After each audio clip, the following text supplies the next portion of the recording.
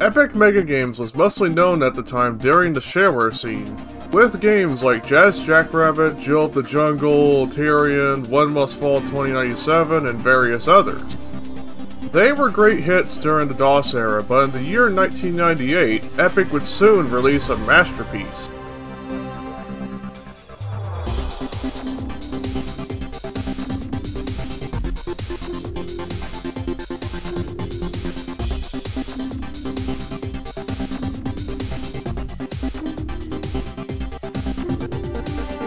That masterpiece would be Unreal. Released on May 22, 1998 in collaboration with Digital Extremes, it was considered one of the last games released under the Mega Games name because when the release of Unreal put them on the map, they were no longer looked at as just some dudes pretending to be a bigger company, and so they decided to shorten their name to Epic Games. It took four years of development, and while originally releasing as a rather buggy game till the patches came in, the game would still be praised for its self-titled Unreal Engine and how unique it was. Keep in mind that we went from a chunky software rendering experience to a smooth 3D accelerated experience a year or two after Quake had come out. It tells you that 3D graphics was evolving fast during that time. It was often pushed as a Quake killer alongside other upcoming titles during 1996 and 1997. And looking at the pre-release versions of Unreal, you could see why people were hyped up. Despite id Software coming out with Quake 2 at the near end of 1997, it didn't stop Epic from stomping Quake 2 to the dust. So much that even critics at the time called Unreal the best looking game of all time in the future of gaming. One would even say rest in peace Quake 2. I always found Unreal to be a better single player game than Quake 2 was in my opinion. Now don't get me wrong, Quake 2 is a good game in its own right, especially with the game engine that is id Tech 2, the music from Sonic Mayhem, and its multiplayer. But the single player just doesn't click well compared to its first game, which has tons of user add-ons to this day. Anyway, Unreal even planned to have ports for the Apple Macintosh, the Sony PlayStation, and the Nintendo 64 DD. While the Macintosh version by Westlake Interactive would be released about a year later after its initial release, the console ports wouldn't see the light of day as the Nintendo 64 DD wasn't successful in, in the US. And the PlayStation version by Pterodactyl Software was canned by Infogrames. Luckily, a rework project is around thanks to some of the people from the Unreal community. Also, if you're one of those people who bought a new video card during the late 90s, you likely might have obtained a copy of Unreal as well. This is known as Unreal Special Edition, an OEM shareware demo of Unreal that has about a quarter of the base game going up to the Dark Arena level and even has a few exclusive deathmatch levels. Unreal also went through several patches up until July 2000 with the 226F patch. If you're on an older PC from its time, 225F is recommended for 3D effects, while 226B is recommended for DirectX and OpenGL. You could also use 224V, which is a basic patch, and the most far as you can go in terms of multiplayer nowadays. If you are curious, however, then play the unpatched version or up to version 219. For modern hardware, I would recommend grabbing Unreal Gold and the version 227J patch from the OldUnreal website. Or if you want to use the original version, then use DG Voodoo 2. Unreal also had one expansion pack in the form of Unreal Mission Pack 1, Return to Napali, and it was combined with the base game with the release of Unreal Gold in January 2000. There was originally more in the works, but didn't see the light of day. But a few have been recovered by the community. When the game originally came out, these were how the weapons sounded like.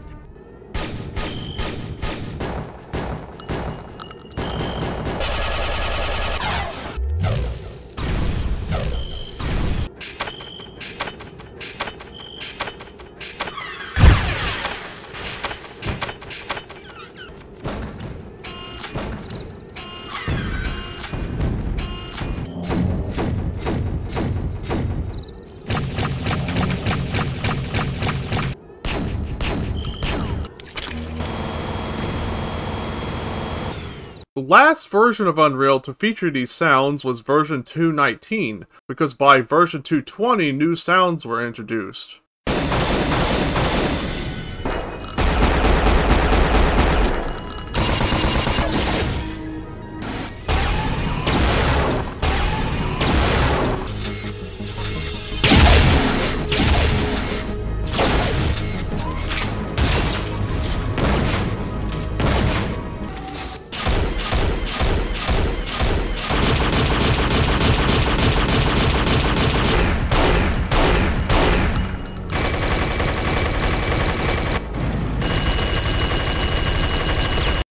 Since I've seen most people play with the new sounds, especially with Unreal Gold, I'm going to keep this old school and use version 2.19 for this video.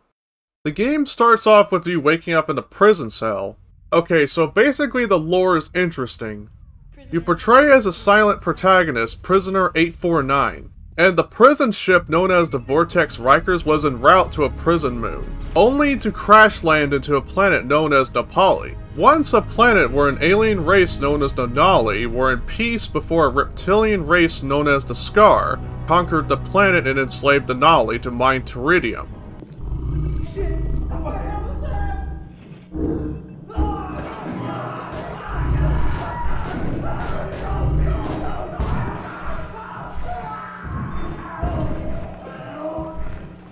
which was used to make weapons or other powerful things. You can also find more interesting lore using the translator we picked up from the Vortex Rikers. Now it is your goal, to escape the planet while killing some Skaarj and saving Nalis that give you rewards in return.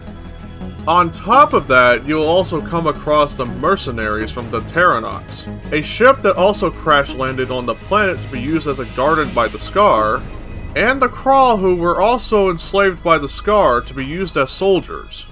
Starting the game also allows you to choose what your protagonist would look like, with a set of player models and skins.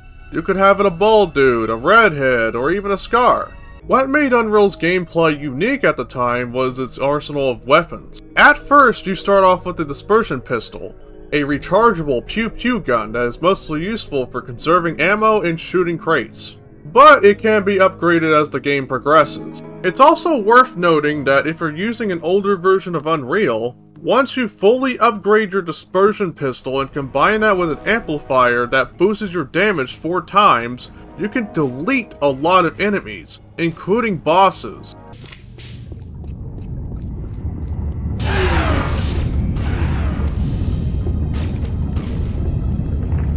After that is when the weaponry gets more interesting the further you play through the game. Here you have an auto mag that can shoot faster at a cost for accuracy. A stinger that acts like a projectile machine gun or nail gun at first, but can also become a projectile shotgun. The ASMD shock rifle that shoots beams of plasma but allows tons of damage when performing what is called a shock combo. The 8-ball launcher is both a rocket and a grenade launcher that can shoot up to 6 and can even shoot homing rockets if aimed for long enough. Well, in fact, this weapon is very satisfying to use that even there's a deathmatch map called Morpheus, but more on that later. The Unreal franchise is also well known for this legendary weapon, the Flak Cannon. Epic's equivalent of a shotgun that shoots out flak shards while the alternative fire launches out a flak shell that detonates on impact. The Razorjack shoots blades that decapitates heads, but can hover around based on where you look at.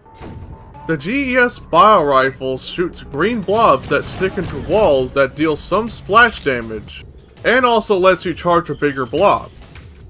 A sniper rifle that also decapitates heads, and the minigun that has two tri-barrels that spin with each other. It is also worth noting that the enemies tend to dodge your attacks a lot. This is because Epic hired Steven Polge to work on the game's AI. Polge also well known for making one of the first deathmatch bots for Quake called ReaperBot. Now, the enemy variety does become a little bit lacking the further you play through the game, but aside from that, facing a Skaarj Warrior for the first time in the mines and fighting a Titan in the arena really is a memorable experience. I also find it interesting that you have some Skaarj soldiers picking up some weapons you use as well, though it also feels like deathmatch in such a strange way. Especially knowing full well that the AI is made by somebody who made a deathmatch bot for Quake. Aside from the gunplay, what also made Unreal an interesting experience is the environment and level design. Epic did a wonderful job on that department. Like look at these waterfalls, skies in Skytown, the sheer darkness of the source, where you fight the Skaarj Queen. The levels were even designed for exploration in mind as it rewards you with goodies. Even the fun fact is that when I was little, I would always no clip into Skytown to look around the buildings and enjoy watching the Krall play dice. I would even spawn a massive amounts of monsters bumping into each other to cause infights. The icing on the cake, though, also comes in the form of the game's soundtrack. Composed by Alexander Brandon, Michiel van den Bos, Andrew Sega, and Dan Gardopée. Some of the tracks has a more ambient side, while some would also have a more action-packed side. There are some tracks.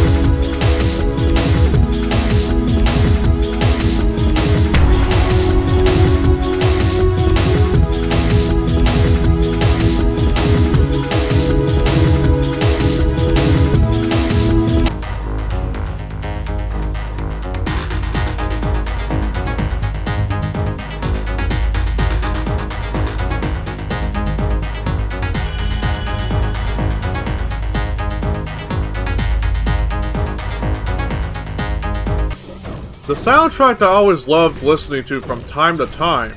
In fact, this game is one of the reasons why I adore tracker module music, and it has me looking for more of that kind of music since then. While the ambient tracks fit really well with the atmosphere, the action-packed side of the soundtrack never fails to hit hard. The ending theme also gives me the feels. It's like that adventurous feeling of a prisoner in a prison ship now having to explore an unknown planet going to places you've never been before while fighting the Skaarj. I mean, hey, I find that more worth it than working at a prison moon any day. Unreal can also be a pretty long game to finish, but can be worth a playthrough if you have the time and patience. However, do expect to get lost in some levels on your first or second playthrough. Like the Sunspire, for instance. I hated this map at first because I tend to get lost and run out of flares and flashlights. But by the time I did my second and third playthrough, I grew to like the level. That's one of the things I've learned is that the more you revisit an old classic and the more you learn the game and its levels, the better the experience becomes. That aside, the transitioning from level to level is interesting. It can go from the spaceships like Vortex Rikers and the Skaarj Mothership, to outdoor environments like the Nali Castle and Bluff Eversmoking, to even somewhere in the sky like Napali Haven. It is really a journey that I recommend playing through one of these days. Now, as fun as the single player was, what about multiplayer? Well, the thing is, when it first came out, the network code wasn't the very best. And do keep in mind that people were on dial-up connections at the time. It may be a bit different now that high-speed internet is affordable, but back then, in order for people to enjoy your game would be to optimize the network code. And that Epic did with patches. Despite the network code troubles, Unreal's multiplayer was so good that Epic's next Unreal game would focus mostly on multiplayer. Unreal's multiplayer has a few interesting game types.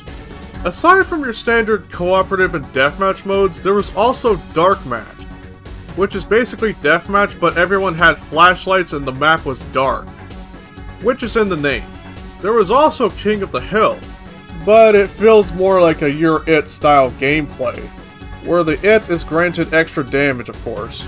There was also a game type called Kill the Cow, and it was said to be some form of Capture the Flag, but the mode did not make it to the final game.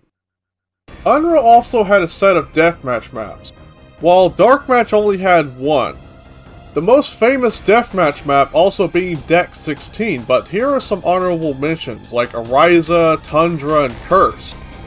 Now, when you have a good set of friends around, then Unreal makes a fun co-op and deathmatch experience.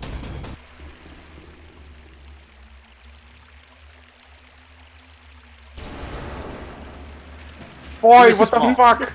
Boyd! What the Boyd, you dick! Fuck He's you! got- I'm, I'm, I'm Real suing. experience. Boy, that was awesome. High five.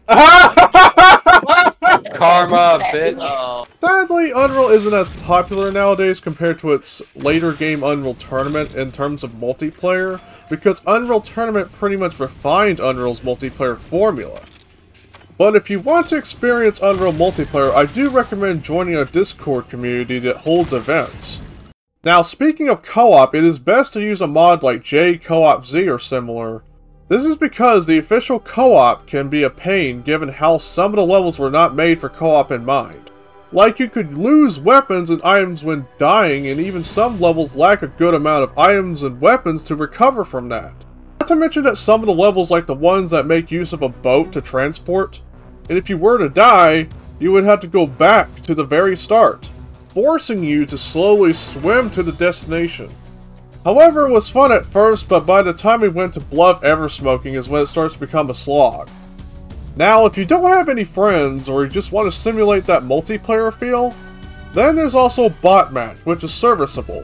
You can even customize the bots to your liking as well, so go ahead and do some team death matches with your friends' names on it or something. Unreal also comes bundled with its own level editor, named Unreal Editor, or Unreal Ed for short, allowing you to create your own levels and scripts using Unreal Script. There is even one mod that is basically a recreation of Unreal circa late 1997. Not only gameplay and expansion add-ons were made, but users would craft some quality of life mod for multiplayer like Enhanced Deathmatch. It is also worth noting that other developers wanted the piece of the pie with Epic's Unreal Engine, so with the power of licensing, it gave us some games you may be familiar of, like Deus Ex, Rune, and even Duke Nukem Forever, which uses a heavily modified Unreal Engine. So where do you get this game nowadays? Well, here's the thing, you could get the games on Steam and Good Old Games, but for whatever reason, Epic delisted them in the near end of 2022, which angered a lot of Unreal fans, including me. So the only possible way to obtain the games is from a rather familiar source. It's a damn shame that Epic would treat such a masterpiece this way.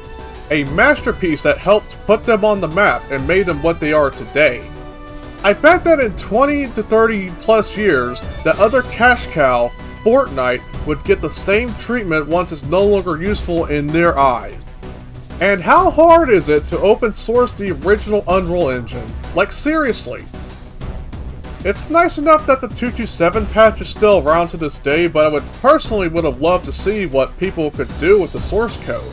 Like people could even port it to some consoles like the original Xbox as a homebrew. But anyway, that's about wraps up this video.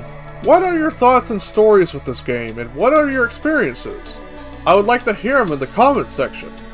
Also, do expect the next Unreal video in the future, where we cover one of Unreal's only mission pack. Until next time, peace out.